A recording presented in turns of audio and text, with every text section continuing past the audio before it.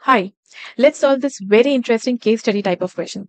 So this question does not have any specific way, any particular process that can be used to solve it uh, uh, directly. You have to come up with a process when you see this question. So this is one of those questions that uh, that emphasizes the requirement to own the dataset before you start solving the question. You need to understand the information that is given to you. You need to draw correct inferences and you need to simplify the conditions that are given to you to be able to solve this question. So let's see how we can do that for each of the 18 recent purchases. So we are talking about 18 recent purchases and something is true for each of them. That included each of products A to D. So each of these 18 recent purchases included products A to D. The table shows the product subtotals. So we have a table here and it says that the table shows the product subtotals. What is product subtotal? The unit price for that product multiplied by the number of units bought as part of that purchase. All right. So we have four products here, A, B, C, D, and we have these 18 purchases here. And yeah, so we have these 18 purchases here. Now it has been told that in each each of these 18 purchases, uh, each of these includes all these four products, right? And these values here are product subtotals, which is what? So product subtotal is number of units for let's say uh, uh, for receipt 1 the number of units is NA1 and the price per unit is PA then the, the the 60 represents the product of NA1 into PA right? So this is 60 for receipt number 1 let's read further. For example the table shows in the purchase corresponding to receipt 1. So again, the example of receipt 1 has been given. 14 euros of the total purchase was due to the purchase of units of product D. So this example has been given here. That's this 14, this 14 is number of units for D in the first uh, receipt multiplied by the unit price of D. All right. Let's read further. For each product, the number of units bought was always an integer. So we have this condition given to us here that if n represents the number of units then it was always an integer. That is um, uh, we could have bought one units two one unit two units three units. We could not have bought half unit three fourth unit. That is not possible. All right let's read further. And for each product the unit price was the same for each of the 18 purchases. What does that mean? If the unit price is PA here for the first receipt, then it will be PA for the second as well, PA for the third as well, and so on. So let's say this is PA, this is PB, the unit price for these products. So it will be same for all the receipts. So let's say these are the unit prices PA, PB, PC, and PD.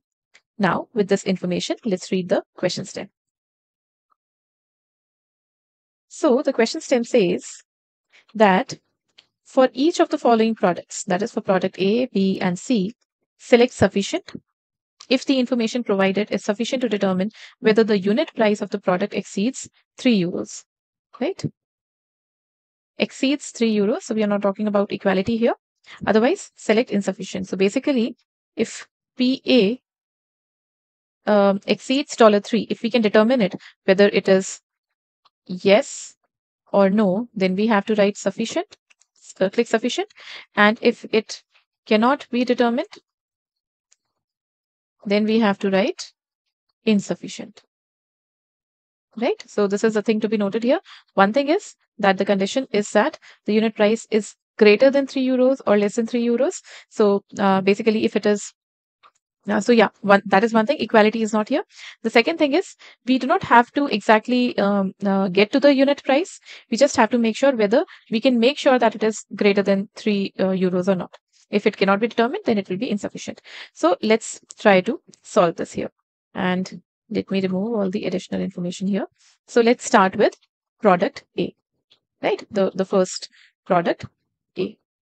So what are the different subtotals given for product A? Let's take a note of it. The different subtotals are 60. So this is 60, 60, then we have a 57. So this is 57. So I'm taking a note of all distinct subtotals here. 54, 48, 42, 36, 30, 24, 18, 12, and 6. Right, now we know that these subtotals are a product of number of units, which is an integer, and this number of units differs for all these receipts. This is NA2, this is NA3. This can be different for all the receipts. So this into the uh, mm, the per unit price, right? And this is something that we need to determine. So one thing that we know for sure is that uh, the the unit price is a factor of all these numbers here, right? So we can start by considering the highest common factor. The highest common factor here is 3, right? So what are the possible values of PA? The possible values will be the factor of fa all the factors of this HCF. So the factors of 3 are 1 and 3, right? So PA will either be equal to 1 euro or PA will be equal to 3 euros, right? We do not know what exactly PA is, but for sure we know that PA is less than 3 euros. So this is something that can be determined. So the answer is sufficient here. Let's check for product B now. So let's write all the uh, distinct subtotals for product B. So these are 50, 35, 10, 30, 27.5. So we have a decimal here. 15, 45, we already have 30, we, okay, 20, 50 is there. Then we have another decimal here, 7.5, then 45, 30 is there, 25. All right, then 5, then 42.5, another decimal, 30 and 40. So definitely we know here that NB into PB are these values and we know that N is integer. So wherever the subtotal is decimal, we know that it is the unit price which would have been a decimal value, right? Because N is an integer. We already know this thing. N is an integer. So N cannot be a decimal value. So it is the, uh, the price per unit, which is the decimal value. So let's start with one of these numbers. Let's start with 7.5. right? Because PB has to be a factor of 7.5. So let's see what is 7.5. 7.5 is 75 by 10, which is, uh, sorry. So this is 25. So this is 15 by 2. Right? If we express 15 in terms of its factors, it will be 1 into 3 into 5 by 2. So what are the possible values of PB? Possible PB. The first one is 1 by 2, which is 0.5. The second one is 3 by 2, which is 1.5. And the third one is 5 by 2, which is 2.5. Right? So considering this subtotal, these are the possible values. Now, uh, because these are all the subtotals, so the correct possible values of PB, uh, PB can have one or two or three of these values, right? However, to make sure uh, that which which ones are actually correct, we can see that which which ones are a factor of all these values here, all the subtotals given for B. Right? So let's see, is 0.5, 0.5, is it a factor of all these values? So we can see here that 0.5 is, uh, sorry for that. Yeah. So 0.5 is a factor of all these values, right? So we cannot reject 0.5. 0.5 can be a correct possible value of PB. All right. Let's evaluate the second one, which is 1.5. Now 1.5 is not a factor of 10, right? Uh, it is not a factor of 20. So therefore, this is not a correct possible value of PB. 2.5. So let's see if 2.5 is a factor of all these uh, uh, all these subtotals.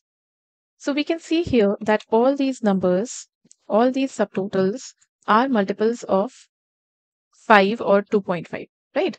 So uh, yeah, I mean, just by looking at all these numbers, we can understand that 2.5 is a possible value of PB because it is a common factor for all these subtotals. So the possible values of PB are the possible values of PB are 0.5 euro or 2.5 euro. Now, we do not know which one is correct. but for sure we know that both these values are less than 3 euros. So again, we can determine whether PB is less than 3 euros or not and hence the correct answer here would be that the information given to us is sufficient. Let's now evaluate product C. So here are all the distinct subtotal values for product C and we can see that other than this decimal number all are actually products of uh, all, all are actually multiples of 3 so let's understand this decimal value. 16.5 which is 165 by 10 which is 33 by 2 so if we break it down into all its factors it would be 1 into 3 into 11 by 2 so the possible values possible values of pc would be 1, 1 by 2, which is 0.5. Second, 3 by 2, which is 1.5. And third, uh, 11 by 2, which is 5.5. So let's see um, which of which of these is a factor of all these subtotals to understand that uh, what all can be the possible values of PC if we consider all subtotals. So here we can see that 0.5 is a factor of all these numbers. So 0.5 is uh, a possible value. Again, since 3 is a factor of all the other numbers, so 1.5 is also a factor of all the other numbers. So this is also possible. Now let's evaluate 5.5. So is uh, mm, is 9 divisible by 5.5? Is 6 divisible by 9 5.5? No, so 5.5 is not a factor of all these subtotals. Hence, the two possible values of BC, sorry for that.